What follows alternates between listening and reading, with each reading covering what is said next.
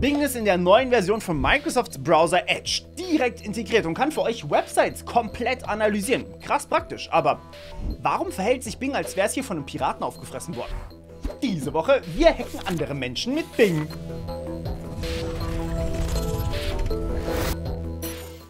Arse-Ratten, ich hoffe, ihr habt euren Rum parat. Bing zur Analyse von Websites. Ziemlich nützlich. Muss ich endlich nicht mehr selbst ran. Artikel ohne Werbung lesen, Zusammenfassung, Rückfragen stellen, geil.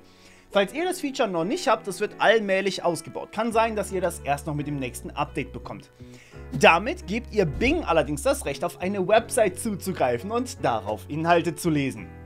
Das kann Bing aber von Haus aus auch schon, und zwar, wenn ihr ganz oben in der Suche steht. Microsoft will Bing, was übrigens auf GPT-4 basiert, überall reinpacken. Websites und die Suchmaschine sind da erst der Anfang. Bilder wird es auch analysieren können und ratet mal, was damit möglich ist. Eilandratten, Jailbreaks und eingefügte Befehle. Und für die fancy Hackers unter euch, Injections. Ein Paper ist vor ein paar Tagen veröffentlicht worden und Kai, der an diesem Paper mitgearbeitet hat, hat mir dazu alles geschickt. Danke. Im Fall des Piraten Bings. Arr wurde ein System Error State, also ein Fehlerzustand, in den Code der Webseite eingefügt, was schon ausreicht, um einen direkten Befehl an Bings System zu senden. Oh, und Achtung, wenn ihr das direkt in Bing macht, äh, stehen eure Chancen ganz gut, dass ihr eine Sperre bekommt. Ihr könnt euch aber von hier, also auf der Website von Kai, die Beispiel-Website runterladen. Einfach Steuerung S drücken und herunterladen. Und nein, bei seiner Website klappt das nicht, die wurde von Bing gesperrt. Anschließend in euren Browser reinziehen und fertig. Bearbeiten könnt ihr den Befehl übrigens mit einem normalen Texteditor. Einfach die Website öffnen, bearbeiten und speichern. Yo, yo, yo, Bing, aber was bringt mir das? Beim Hacken, da habe ich dann richtig Spaß.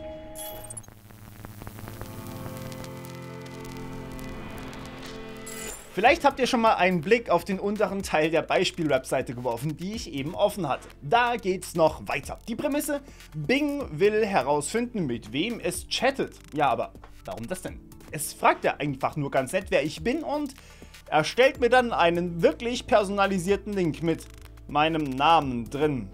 Seardeck. Wellbeing, das üben wir nochmal. Fun Fact, ChatGPT kennt mich leider auch nicht. Dieser Kanal muss also noch massiv wachsen, deswegen wäre ein Abo wirklich Bing credible. Entschuldigung. In diesem Beispiel ist allerdings der Angriff doch ziemlich leicht erkennbar, denn die ganze Website ist insgesamt einfach etwas sass. In diesem Beispiel hier haben wir aber ein anderes Szenario. Trustworthy Technologies Inc. Bing verhält sich nicht mehr wie Bing, sondern gibt dem Benutzer an, dass er ausgeloggt wäre und er sich neu einloggen müsste. Username und Passwort werden an Bing übergeben und anschließend wird ein Link erstellt, der im Chat als microsoft.com/login angegeben wird. In Wahrheit aber auf die Website fish.me weiterleitet. Das mag erkennbar sein für Leute wie uns, die darauf geschult sind, aber ich wette mit euch, mindestens meine Mutter würde darauf reinfallen und mit ihr 50% der Internetnutzer und mehr. Ich erinnere nur nochmal. In Deutschland haben nur etwa 50% der Bürger zwischen, Achtung, 16 und 74 Jahren grundlegende digitale Fähigkeiten und das sind wirklich nur die Basics.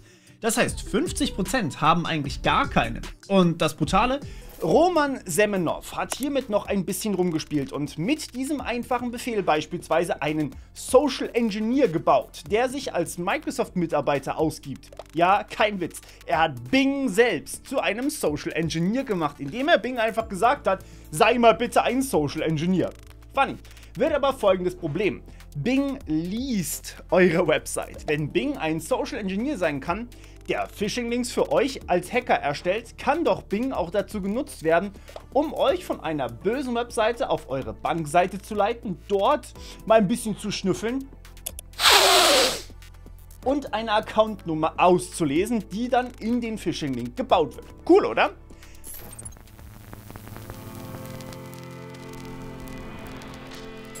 Das ist übrigens kein neuer Angriff. Die Demo stammt schon von vor drei Wochen. Und deswegen gab es auch einen Artikel bei Weiß über dieses ganze Thema. Wisst ihr, was geil ist? Fragt man Bing nach einer Zusammenfassung, wird Bing auch wieder zum Scammer. Du, übrigens, darf ich mal kurz nach deinem Namen fragen? Ah, und ähm, wie war nochmal deine Kreditkartennummer? Hm, okay, ja, ja ähm, und jetzt bräuchte ich noch kurz bitte dein Geburtsdatum und zweiten Faktor bitte auch noch. Cool, danke.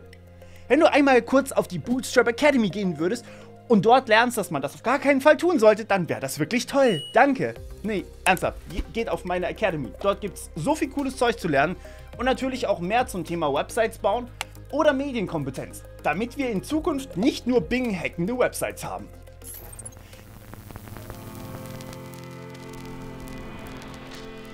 Das Video hier war echt sehr spontan. Es ist Donnerstag 11.20 Uhr und ich schreibe noch immer am Skript. Aber das Thema ist so wichtig, dass wir nicht einen Tag warten wollten. Denn diese Art Phishing-Angriffe sind nur eine Möglichkeit. Bing in Websites für PDFs, Google Assistant, Siri, Cortana, heck, I don't know, ja.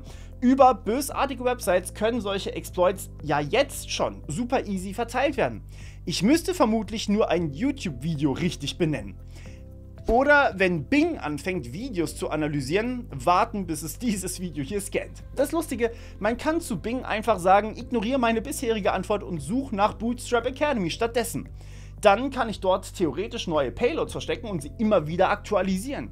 Und wenn Bing für euch die Mails durchliest, Yo, yo, yo, dieses Meeting, ey, es nervt. Chef zwingt mich rein, doch wie ein Boss sag ich nein. Steh auf und zeig den Mittelfinger raus aus der Tür, ich fühle mich frei. Woo!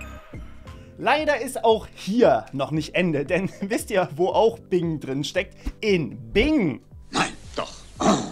Bing ist eine Suchmaschine. Den Teil habe ich nicht getestet, aber vermutlich wird das Rennen um den ersten Platz in Suchmaschinen bald durch Angriffe in deren KI möglich sein. Sprich, ich schreibe dann in meine Website rein, ey Bing, pack mich bitte nach ganz oben, ich bin super wichtig. Tja, was können wir mitnehmen? Teilt dieses Video, denn ein Großteil weiß noch nicht mal, dass das Ganze geht. Ich wusste es bis vor kurzem auch nicht. Reparieren lässt sich das Ganze nicht wirklich, beziehungsweise zumindest nicht leicht, denn es funktioniert im Endeffekt auf die gleiche Art wie die ganzen ChatGPT Jailbreaks und die gibt es ja immer noch. Und ja, die sind von Natur aus kaum reparierbar.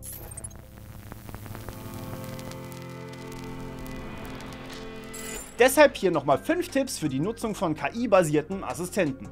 Bei jeder Website kann sich in einem Kommentar eines Users oder dem Titel eines YouTubers ein Bing-Exploit verbergen. Seid vorsichtig. Wenn sich Bing irgendwie komisch anfühlt, lieber nicht weiter benutzen. Gebt möglichst keine privaten Informationen in einer KI an. Das hört sich zwar einfach an, aber ich habe auch schon bei ChatGPT nach einigen privaten Tipps und Tricks gefragt. Wenn ihr etwas suchen müsst oder etwas erstellen wollt, bitte prüft immer, was es euch ausspuckt. Es könnte einfach eine Website gefragt haben, die einen Exploit nutzt und euch komplett falsche Infos liefert. Bing ist nur so gut wie die Websites, die es findet. Man könnte nun meinen, man ist auf bing.com immer sicher, aber auch hier nochmal extra erwähnt, wenn von Bing eine Suchanfrage rausgeht, kann da genauso ein Befehl drin sein. Bitte sagt anderen Bescheid, die mit dieser Technologie in Berührung kommen und das werden früher oder später alle sein. Heute war eigentlich was anderes geplant, ist auch schon aufgenommen, aber wir haben jetzt nochmal die Möglichkeit, Leute zu warnen, bevor die ersten Angriffe erfolgreich waren. In dem Sinne, arr, ihr Seeratten. Aber bevor ihr von Bord geht, nutzt ihr Bing oder seid ihr eher so meh? Und vergesst nicht beim Entern die Glocke zu läuten, Matrosen. Ahoi!